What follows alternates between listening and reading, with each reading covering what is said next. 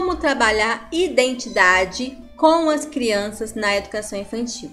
No vídeo de hoje, eu vou te mostrar um livro que vai te ajudar a trabalhar esse tema com as crianças. O nome da história é Tudo Bem Ser Diferente, de Todd Parr.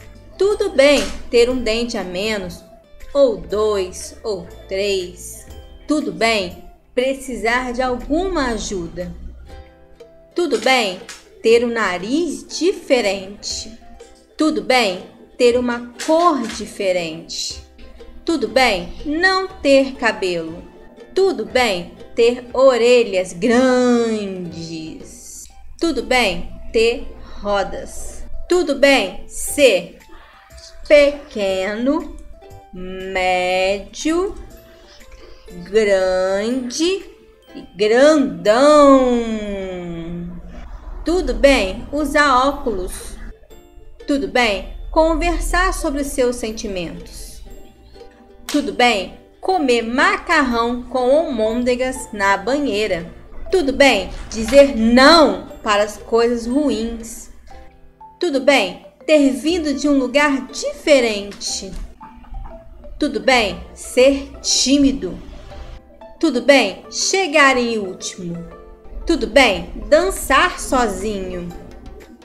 Tudo bem ter uma minhoca como animal de estimação? Tudo bem ter orgulho da gente mesmo? Tudo bem ter mães diferentes? Tudo bem ter pais diferentes? Tudo bem ser adotado. Tudo bem ter um amigo invisível. Tudo bem fazer algo legal para alguém. Tudo bem perder as coisas de vez em quando. Tudo bem ficar bravo. Tudo bem fazer alguma coisa legal para você. Tudo bem? Ajudar um esquilo a colher nozes. Tudo bem? Ter diferentes tipos de amigos. Tudo bem? Fazer um pedido. Tudo bem ser diferente. Você é especial e importante apenas por ser como você é. Com amor, Todd. E aí, você gostou da história? Legal ser diferente, não é? Eu amo ser diferente das outras pessoas, ter meu jeito especial. É muito legal. E aí, você gosta de ser diferente? Poste aí nos comentários, deixe seu like, se inscreva no canal. Agora eu vou dar algumas orientações para sua professora. Professora, você pode utilizar essa história nas suas aulas online, remota ou presencial. É uma historinha muito fofa que fala sobre a identidade e que traz a questão da diversidade. O, na história, ele fala que tudo bem ser diferente do outro, né? Então, é uma historinha que dá para trabalhar identidade e dá para trabalhar diferenças. E agora eu vou dar uma dica de atividade para você. Fique ligado.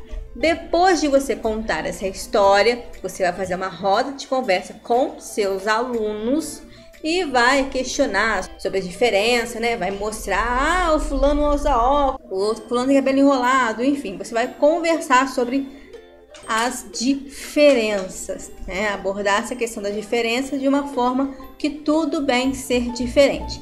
Depois, né, a gente viu na história que ele falou dos tamanhos pequeno, médio, grande grandão. Você pode pegar uma fita métrica ou um barbante e medir as crianças.